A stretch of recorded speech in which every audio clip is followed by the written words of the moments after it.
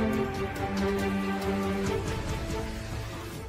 भाजपा नेता doctor Tanveer ticket नहीं मिलने से हुए पार्टी से नाराज़। दर्जा मंत्री सूर्य प्रकाश पाल पहुँचे मनाने। दिया अगले चुनाव में टिकट देने का आश्वासन। चुनाव विधानसभा सैतीस का नामांकन प्रक्रिया जारी है, जिसके लिए भाजपा से टिकट मांगने वाले डॉक्टर तनवीर ने भाजपा पार्टी से टिकट मांगने पर पार्टी ने आकाश सक्सेना को प्रत्याशी बनाया, जिससे नाराज़ डॉक्टर तनवीर ने निर्दलीय चुनाव लड़ने का फैसला ले लिया था। संवाददाता अभिषेक शर्मा की खास रिपोर्ट। हम लोगों ने डिस्कस करा कि कैसे जो है अधिक से अधिक वोट यहाँ से शेर से पड़े और कैसे हमारे कैंडिडेट जीते? अच्छा आपने क्यों ऐसा फैसला लिया चुनाव लड़ने का? क्या एकदम आपने निर्णय लिया? चुनाव लड़ने का मैंने जो, है हमारे जो पार्टी के सीनियर लीडर्स हैं उन्होंने बा, बात करी डिस्कस करा और जो भी शिकायत है उनके लिए दूर हुए क्योंकि हम लोग कार्यकर्ता हैं भाजपा के उन- उसी के लिए काम करेंगे उसी का चुनाव तीन बार आपने टिकट मांगा पार्टी से। मांगा पार्टी ने आपको अनदेखा करा गया।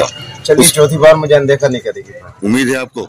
नहीं नहीं अब ऐसे कोई बात नहीं है। ना कोई मेरी जानकारी में आया अभिषेक आप सब हमारे साथ थे हमारे साथ हैं हमारे साथ रहे पार्टी में हमारे हमने मतलब वायदे तो इससे पहले भी एक वायदा करा इन्होंने लड़ा दिया दूसरा वायदा किया लड़ा दिया तीसरा वायदा